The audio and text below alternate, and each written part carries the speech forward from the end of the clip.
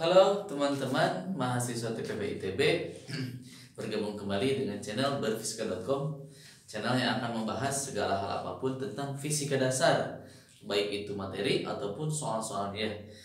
Nah teman-teman kali ini kita akan membahas e, lanjutan dari e, pembahasan soal UTS 1 Fisika dasar tentang bab dinamika gerak teman-teman. Nah seperti telah disampaikan sebelumnya bahwa e, di dalam dinamika gerak itu eh, tipe-tipe UTS-nya ya di semester 1 UTS 1-nya bab dinamika itu biasanya eh, benda bertumpuk gitu ya balok bertumpuk gitu ya kemudian dihubungkan dengan katrol ada gaya geseknya ada gesekannya gitu ya kemudian biasanya juga selain benda bertumpuk biasanya ada bidang miringnya oke okay? kemudian nah kasus yang seperti ini, kasus yang benda apa e, gerakan melingkar, dinamika gerak melingkar, e, biasanya jangan keluar, tetapi suka keluar juga gitu. Cuman frekuensinya tidak sebanyak benda bertumpuk, teman-teman. Makanya nanti teman-teman e, pelajari semua kemungkinan-kemungkinan itu agar mendapatkan e, nilai optimal, nilai maksimum ya, maksimal di dalam e, UTS-nya. Oke, yuk kita simak seperti apa e, e, soal soalnya, oke. Nah ini sebuah mainan ya, mainan dalam wahana permainan. Biasanya disebut biang lala ya kalau di dalam eh, soal-soal yang sebelumnya ya, uh, saya menyebutnya biang lala ya. Oke. Nah sebuah mainan putar, komedi putar itu mempunyai jari-jari 5 meter. Nah jadi jari-jarinya oke dari titik ujung ini lintasannya ke tengah itu 5 meter jari-jarinya ya, 5 meter dan berputar dengan periode 100 detik. Nah, ada periode teman-teman. Periode. Periode itu apa? Periode. Nah, ada periode itu simbolnya T gede ya. Periode masih ingat nggak teman-teman? Periode itu adalah waktu. Waktu yang dibutuhkan. Waktu yang dibutuhkan. Oke. Okay, untuk apa? Untuk berputar satu putaran penuh, satu putaran ya. Untuk untuk melakukan satu putaran penuh. Untuk melakukan satu putaran penuh satu putaran penuh. Nah, jadi 100 detik itu dia misalkan awalnya di titik B, kemudian dia berputar nah menuju titik B lagi. Itu satu putaran penuh. Jadi waktunya 100 detik, teman-teman. Oke. Nah, pertanyaannya adalah tentukanlah besar kecepatan sudut ya, kecepatan sudut omega ya berarti kecepatan e, berputarnya. Kemudian kecepatan tangensial. Nah, kecepatan tangensial itu kecepatan linearnya. Kecepatan yang lurusnya teman yang menyinggung pus, uh, menyinggung ring lingkarannya. Lurus ya. Mainan tersebut oke. Yang B gaya normal oke gaya normal.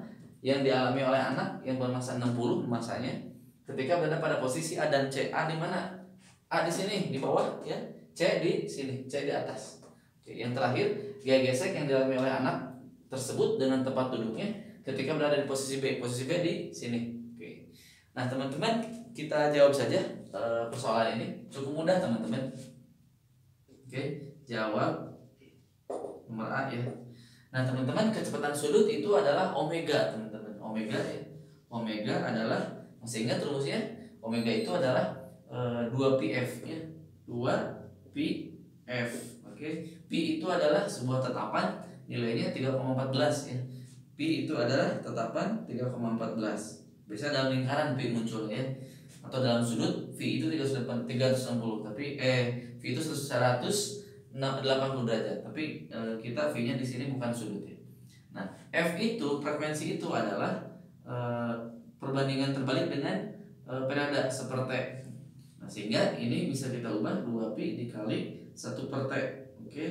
atau 2 pi per T oke? Okay, masukin. 2 pi per T nya berapa? 100 detik ya. Nah gitu. Jadi berapa? E, dua dua pi pi nya 3,14 berarti 6,28 dibagi 100 nah, jadi 6,28 kali 10 pangkat min 2 berapa apa satuannya? Radian per sekon. Nah ketemu ya. Itu adalah e, kecepatan sudutnya teman-teman. Adalah kecepatan sudutnya. Kemudian kecepatan tangensialnya kecepatan tangensial Ke, e, kalau kecepatan sudut yang mana? Kecepatan sudut itu yang ini yang melingkar teman-teman. Nah ini omega nya. Omega itu yang mutarnya ini omega. Kalau kecepatan tangensial itu yang menyinggung di tiap titik. Misalkan di titik A berarti ke sini. Nah ini adalah V nya. Kecepatan tangensialnya V tangensial. Kemudian misalkan di titik B ke mana? Ke sini. Nah pokoknya menyinggung aja. Misalkan di titik ini sini menyinggung aja satu titik. Di titik ini misal ke sini nah jadi di, ini misalkan gerakan ke sini berputar ini. Dari si mainan ini. Oke kalau di titik C ya dia lagi ke sini di titik C. Nah tarik garis saja nah gitu. Ini V tangensial V tangensial jadi adalah kecepatan menyinggung e, menyinggung lintasan di suatu titik ya. Lintasan lingkarannya. Berarti e, V nya adalah ada hubungan sama omega teman-teman V nya adalah omega dikali R. Nah ini hubungan ini e, rumus standar di SMA juga ada ya. Omega itu tadi 2 pi per T dikali jari-jarinya berapa? 5 ya. Oke nggak apa-apa R. Oke berarti 2 pi per 100 dikali 5 nah teman-teman hitung. Nanti coret ya. Jadi 20 ya. 20 bagi 2 jadi pi per 10 nah jadi eh, 0,314 teman-teman. Karena kan pi nya 3,14 bagi 10 ini. Meter per sekon dan namun nih? Kecepatan tangensialnya Oke, jadi untuk menemukan e, nomor A ini cukup mudah karena e, cuma masukin rumus aja. Ini e, sudah dibahas ya di pelajaran-pelajaran SMA. Oke. Nah, kemudian kita lanjutkan ke nomor B, gaya normal yang dialami oleh anak bermassa 60 kg ketika berada pada posisi A dan C. Oke. nomor B. Nah, pada saat di titik A dulu deh. Saat di titik A, saat di titik A Nah, teman-teman gambarkan dulu diagram benda bebasnya teman-teman. Itu untuk memudahkan e, perhitungan. Oke, di titik A. Nah, di sini ya, di titik A. Berarti kira-kira gimana diagram benda bebasnya? Ada gaya normal ya. Oke, jadi si anak duduk duduk di kursinya, kemudian dia akan didorong oleh si e, apa itu? Oleh si kursinya. Ya, gaya normal disebutnya gaya normal. Kemudian karena dia punya masa, berarti dia punya gaya berat ke bawah ya W. Nah, gitu. Udah, udah. Kemudian di titik ini teman-teman tinjau e, tentang e, hukum Newtonnya. Berarti sigma F sigma F ya, ya karena dia pada saat di sini ada gaya ada percepatan yang mengarah pusat. Namanya kecepatan sentripetal ya. Berarti m dikali a sentripetal. Sigma f nya siapa? Ingat arah ini arah sumbunya ya. Kalau ke atas itu ingat koordinatnya. Berarti ini sumbu Y positif dan ini sumbu X positif. Nah berarti yang ke arah atas positif berarti N N oke. Okay. N N positif min W ya min W sama dengan M. A sentripetal tuh langsung aja. A sentripetal apa? V kuadrat per R ya. V kuadrat per R. Nah berarti kita kan ingin cari N nya. Berarti N nya sama dengan W nya pindah ruas. Jadi W ditambah mv kuadrat per r. Kita masukin nilainya. Berarti mg ditambah mv kuadrat per r. Nah mg nya masukin. M nya berapa? 60 oke kali 9,8 tambah 60 kali v nya tadi ini 0,314 dikuadratin dibagi 5 ya. Nah teman-teman hitung. Nanti ini hitung itu saya dapatkan kira-kira 589 teman-teman. 589 Newton. Ya jadi di titik A eh kalau e, lintasannya melingkar oke okay, biasanya di titik terbawah itu adalah gaya normalnya paling besar. Jadi di sini gaya normalnya maksimum teman-teman. N-nya maksimum. Ingat ya e, udah udah pernah dipelajari di e, bab-bab e, dinamika gerak melingkar ya sebelumnya di video-video sebelumnya. Kemudian hati-hati konsep yang di, salah biasa salah ya di dalam gerak melingkar ini dinamika gerak melingkar. Biasanya ada gaya sentrifugal teman-teman gaya sentrifugal itu sebenarnya tidak ada teman-teman karena gaya yang ada itu adalah gaya sentripetal yaitu gaya yang mengarah ke pusat lingkaran kalau sentrifugal sebenarnya gaya fiktif atau sebenarnya gaya tidak ada teman-teman jadi kalau menjawab gaya sentrifugal teman-teman itu jawabannya otomatis kurang tepat salah ya Kemudian kemudian kita lanjut ke di titik C, titik C. Di titik C. Nah di titik C juga sama. Teman-teman gambarkan dulu eh, diagram benda bebasnya. Berarti sama ya. Di titik C juga ada N ke, atas, ada W ke bawah. Sama ya. Oke. Ini NA, ini NC. Nah di titik ini berarti sigma FY-nya gimana? Sama A sentripetal. Cuman bedanya eh, A-nya mengarah ke mana? Kalau ini kan A sentripetalnya mengarah ke atas positif, ya yang ini. Nah kalau di sini A-nya mengarah ke sini, A sentripetalnya mengarah ke bawah. Ke bawah itu artinya negatif, ke sumbu negatif. Berarti eh, N min W sama dengan minus ya minus nih M V kuadrat per R.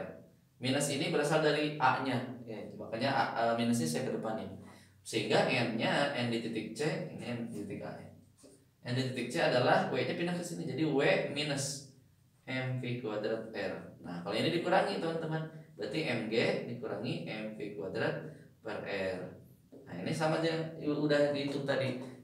Ini 60 kali 9,8 itu 588 ya. Ini 588 yang sebelah sininya 1,183. Nah, dikurangi saja jadi 587 kira-kira. 587 Newton. Ini kira-kira. Nah, jadi kalau di sini 589 mana? Mana tadi? Nah ini, oke. Okay. Kalau di titik A di bawah, kalau di titik C di atas 987 ya berkurang lah, berkurang. Jadi di sini e, maks, e, nilainya besar daripada di titik C. Oke. Okay. Untuk nomor C, nah, nomor A, nomor B sudah ya. Nomor C adalah gaya gesek yang dialami anak e, dengan terbentuk ketika berada di posisi B, posisi B. Nah di posisi B, sebenarnya kan anak ini dia geraknya e, tetap pada pada pada apa pada posisinya. Jadi dia tidak loncat keluar tidak apa terlempar ke sini gitu atau dia ke sini yang yang pasti dia terlempar ke sana gitu.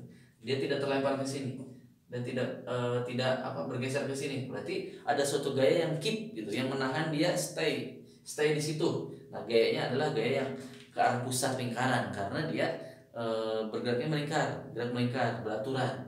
Berarti ada gaya ke sini teman-teman gaya yang menahan supaya dia tidak loncat ke sini atau keluar ke sini.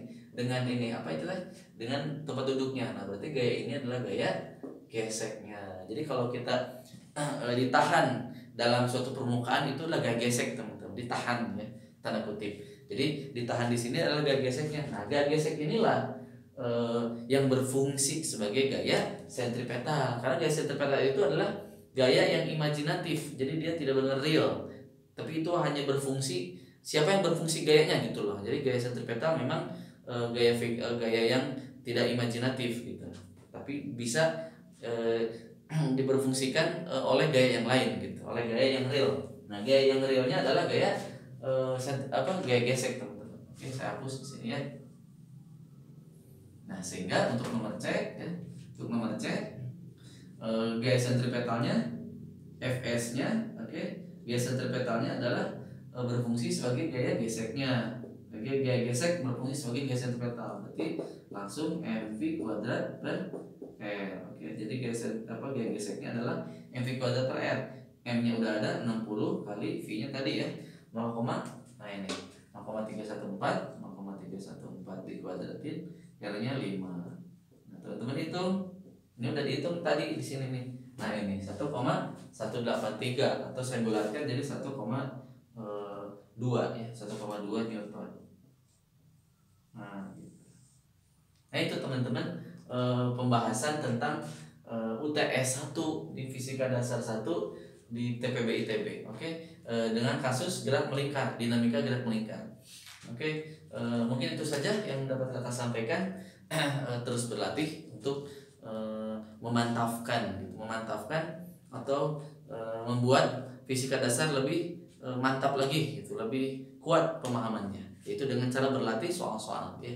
Begitupun dengan e, ingin meraih e, nilai yang besar di dalam UTS-nya, teman-teman berlatih soal-soal UTS, soal-soal di buku-buku Halidai, buku Tiplar dan lain-lain e, dengan tingkat e, apa persoalan yang relatif e, berbeda-beda ya, jangan yang mudah terus. Jadi e, dicoba yang soal-soal yang level-level yang e, rendah, sedang dan tinggi gitu. Oke, gitu. E, mungkin itu saja yang dapat kakak sampaikan. Dukung terus channel ini agar channel ini terus berkembang dan terus e, memberikan eh, ilmu-ilmu fisika dasar yang bermanfaat ya. Oke, sampai jumpa di lain kesempatan. Salam berfisika.com. Dadah.